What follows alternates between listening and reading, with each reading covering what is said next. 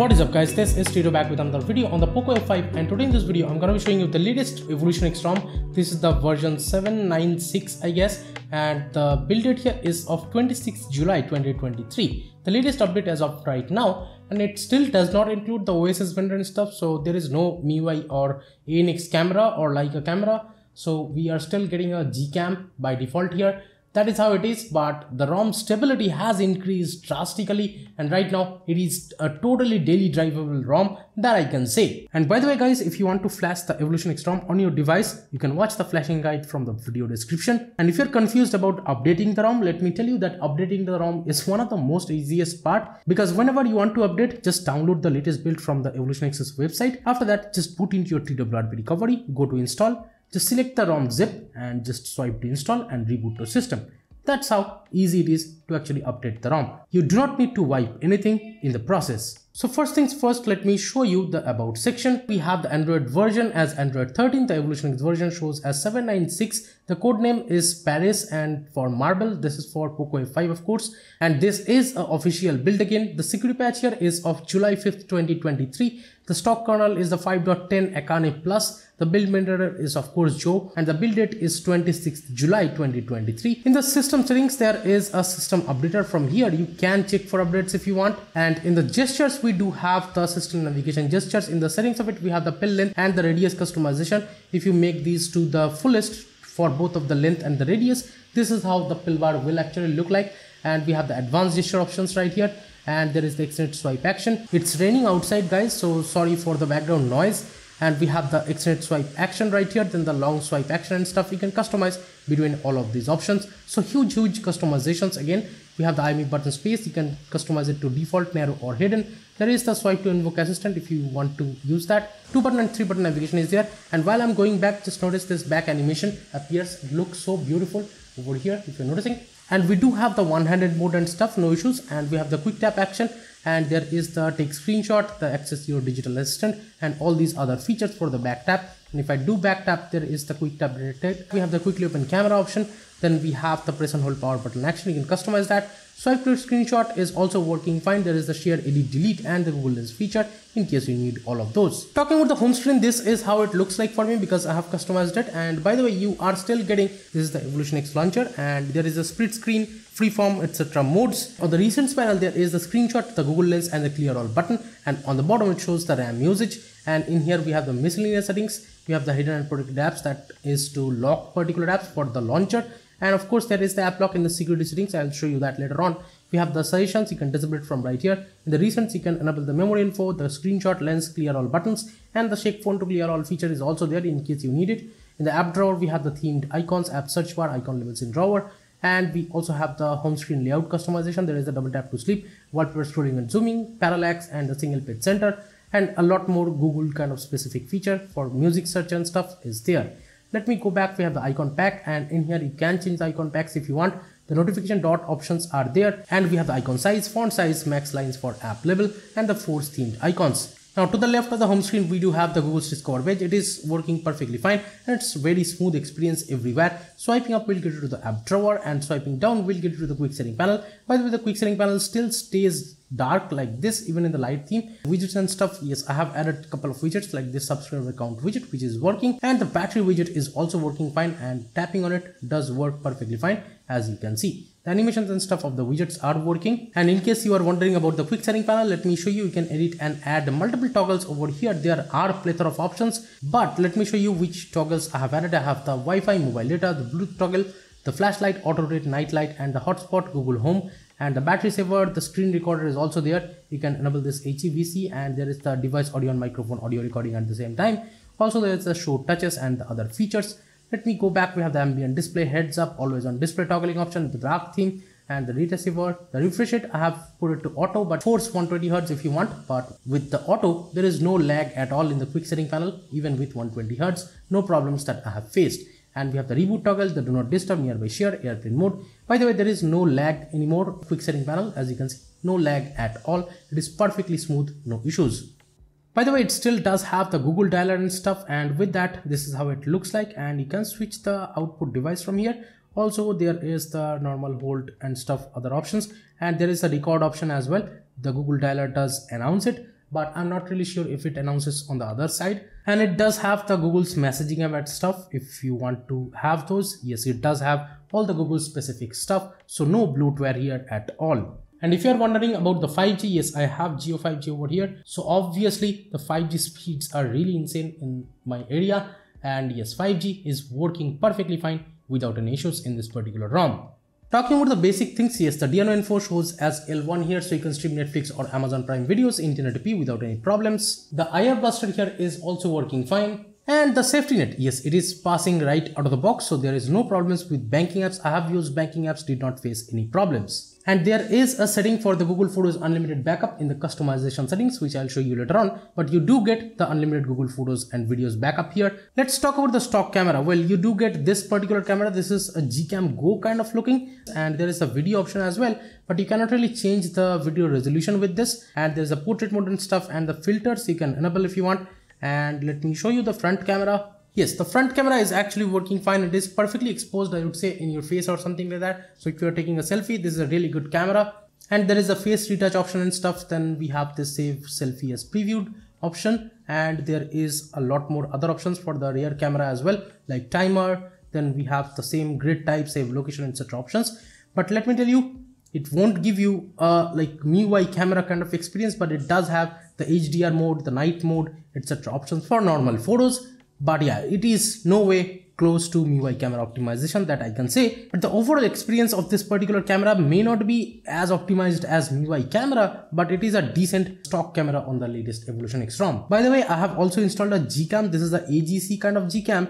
And with this, I will show you guys a comparison with the normal Gcam Go, which is present by default, or normal Gcam, which is present by default, and this particular Gcam AGC and the side-by-side -side shots that you are seeing here is compared between this particular Gcam and the stock camera of this particular ROM. And again, I'll try to make a separate video about it. You guys, if you guys want it, let me know down there in the comments. And with this, the most special thing is we do have the video settings and in here we can shoot up to 4K 60 FPS and that is just huge because we do not even get that option in MIUI. So right now you can shoot 4K 60 FPS with this particular Gcam and I'll show you a video example that I have already taken. And now you are seeing a video example which I have just shot with 4K 60 FPS turned on with this particular Gcam. You guys let me know how is the quality. Of course, it won't be in 4K for you guys because I'm shooting this whole video in 1080p 50 FPS but I'll try to zoom it in or crop in for a couple of seconds so that you can get an idea about the 4K quality in this particular video example.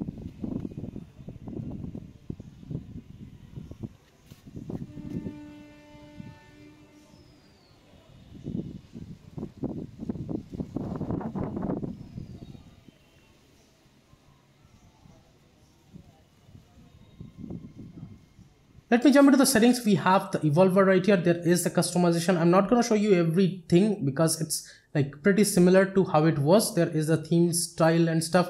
Color source you can change, the luminance, chroma factor, etc. Dark theme you can schedule it and turn on the pitch black mode. We have the headline and body fonts. And again, plethora of fonts we do get, including with the nothing dot font, one plus font, Roboto, and all other things then we have the icon packs and stuff. Then the signal icon styles and the Wi-Fi icon styles are there as well. Then the icon shapes are there as well. Even the nav bar style you can customize. In terms of status bar settings we have the clock and date style customization. Even the battery icon styles are there like the landscape ios style and there is the landscape origami style the newer option. But yeah the landscape ios style looks really good for me. So i have been using it with that. But there is a lot more battery options in case you need that the status bar icons options are there headset bluetooth etc icons you can enable. Then there is the show 4g instead of lte and all these things. This hd icon is showing up because it is having the VoLTE so that's how it is. It doesn't show VoLTE straight up over there but it only shows that hd we have the notifications. Here we have the use app colored background for the d ticker and the in-call vibration options. Let me go to the quick settings. In here we have the combined quick setting elements and you can change it to however you want to the quick setting panel style pretty much then the battery style and stuff for the quick setting panel and the brightness slider position and the style you can actually change from right here. If you need that then we have the haptic feedback animation styles quick setting for text etc in the power menu we can enable the advanced reboot and stuff and all other options that you got seeing over here. And we have the gestures. In here we have the brightness control by sliding a finger on the status bar then the click to partial screenshot long press button toggle torch all these functionalities are here. In the lock screen we have the ambient music ticker edge lighting and the lock screen clock font. You can change plethora of lock screen clock fonts are here. There is the always on display scheduling option in case you need it and we have the media cover art customization, ripple effect, fingerprint authentication and error vibration. In the buttons we have the navbar style and we have the show volume panel on the left side, the volume panel timeout, part of volume control and all these functionalities are here. In the animations we have the charging animation, the screen of animation, the power menu animation you can customize. In the miscellaneous settings we have the pocket detection and this is a new feature Earlier, we used to have a lot of accidental wake ups. Whenever you were in a call or something, if you put your device in your pocket, it used to wake up accidentally. But right now, it has been almost fixed with this particular function. So that is just great. Even in MIUI, that accidental wake up problems usually like annoyed me. But here, I do not see that problem anymore. So that's a huge plus for this particular Evolution X update. We have the parallel space, so you can have two accounts for apps like WhatsApp. Then we have the game space. You can add any game to have the overlay then the smart pixels and stuff launch music app on headset. Connect unlimited google photo storage backup. That is actually you have to enable if you want to unlimited google photos backup and unlock high fps games and the netflix spoof then we have the ignored window secure flags and the other block sensor and stuff wake lock blocker and unblocker USB configuration, you can set it to file transfer for convenience. Now let's talk the battery settings. Well, this is how it looks like and we do have the optimization profiles and here we can set it to performance browser, camera, dial-up, game, streaming application, etc. Then the battery optimization per app you can do. If you scroll down more, we are still getting the design battery capacity, current battery capacity, the charging cycles and the battery temperature. And I love this particular feature. My device has 76 charging cycles right now. My battery life that I have been getting is estimated about nine and a half hours. So that's about 10 hours of screen on time you can say and about 60 hours of standby here it shows. So that's a long time of standby. And even the combined use it's about 16 hours. So amazing battery life that i have been getting. In the health section well it doesn't show anything for me because maybe i haven't charged fully but yeah the battery life over here 10 hours of screen on time is almost really really good no problems whatsoever that i have been facing with the battery life and the fast charging here is also working perfectly fine no issues in the sound and vibration settings, this is how it looks like. We have the media register volume controls and the volume panel looks like this. You can expand it and change the output device from right here. Let me go back. We have the live caption, the media, vibration haptics, ringtone vibration pattern changing option. Then if you scroll down more, we again have the per app volume control, dial pad tones, in call sound, the screen locking sound, etc. Silent and medium mute option, the newer feature. And in the Mi Sound Enhancer we get this Dirac logo. So this is pretty much the Mi Audio Dirac. And the scenes you can change to smart music video or voice. Then we have the youth edition or other presets for the headphones. I have been using it for the youth edition. The sound quality via the headphone jack and even bluetooth and the earpiece the speakers everything has been really good we have the choose preset option you can set it to bass booster or something like that if you want it and we have the enable hi-fi option as well. We also do get a clear speaker option. In the display settings, we have the brightness level, adaptive or auto brightness, extra dim. In the lock screen, we have the control from lock device, that's for the Google Home controls. Double line clock, always show time and info is always on display pretty much. In the advanced settings, we have the pickup option. So pulse notification on pickup or you can select to wake device on pickup, whichever you need. And we also have the hand wave, the pocket mode and stuff. And we have the always on option. That is the always on display again and we have the dark theme again the display size and text the night light live display and you have the color calibration here as well and the colors you can set it to boosted if you want and with the natural even it looks good and we have the allow window level blurs the minimum and maximum refresh rate you can change it from right here and we have the smooth display the low power refresh rate if you enable battery saver it will switch the display to 60 hertz that's really good the double tap to wake is there, prevent accidental wake up is there, and we have the wake up unplug and we have the full screen apps. Refresh rate per app you can choose.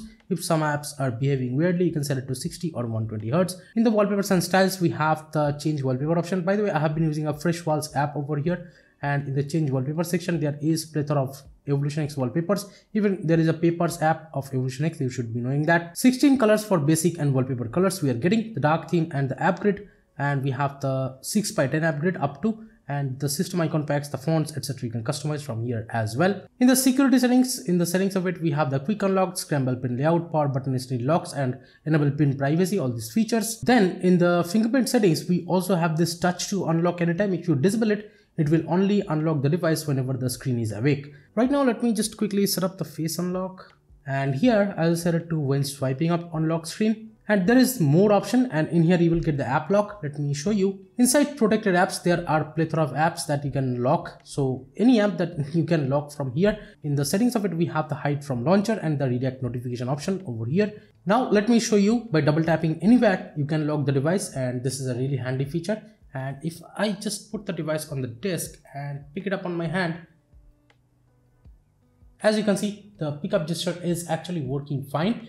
And sometimes you have to just do a lift up just like this. And as you can see right now the pickup gesture has worked perfectly. And if I tap the fingerprint scanner as you can see it unlocks. It's a really fast unlocking experience. Let me show you one more time. And here I'm just tapping the fingerprint scanner. Just notice how fast it unlocks so no problems. It does give me a haptic feedback whenever I tap the fingerprint scanner and it's a really good experience and double tap to wake is actually working. There is the Google Home controls and you have to tap and hold for these shortcuts. And here as you can see the torch I can turn it on or off. And in the lock screen as you can see this is how it looks like the animation I mean. Again the fingerprint scanner is working perfectly fine. No problems. It's really fast experience. Now let me show you the face unlock for that I have to swipe up and here as you can see it unlocks let me try one more time so yes face unlock is working perfectly fine again now for the app lock, this is how it looks like. You have to tap the fingerprint scanner to actually unlock the app. And if I tap it, as you can see, it unlocks the particular app. So app lock, fingerprint scanner and the face unlock, everything is working perfectly. Now let me show you by opening a couple of apps. And by the way, this test website does show me about 120 FPS. So no problems whatsoever with the high refresh rate here. And Twitter is now X. So congratulations to Elon Musk, I guess. So here we have the Play Store and stuff. And even Twitter scrolling if I show you it's very smooth experience no problems whatsoever. This like the Poco F5 is handling this custom ROM like pretty much a knife on the butter experience over here. And it's a very fluid experience. While switching apps like switching to any app or like taking video or something like that it's perfectly smooth everywhere in the UI no problems whatsoever that I have faced in this ROM it's a very very fast experience no issues whatsoever and here are the and Geekbench score with a CPU stress test in case you guys want to get an idea about the overall UI performance, how the Poco F5 is handling the latest Evolution X ROM. So I would say definitely I have been getting amazing, amazing experience over here with the Evolution X ROM. The only thing that I do miss right now is gonna be the MIUI camera. If that was there, I would have been like one of the most happy persons. But yeah, otherwise even without the MIUI camera, it's a really great experience. I'm not exaggerating guys, I'm just loving this custom ROM on the Poco F5. Share this video with your friends if you want them to know about the latest Evolution X ROM, how it's running on the Poco F5. Give this video a thumbs up if you liked it, subscribe to the channel if you have not yet. This is Tito from Tech signing off for today. I'll be catching you guys in the next one. Bye bye now.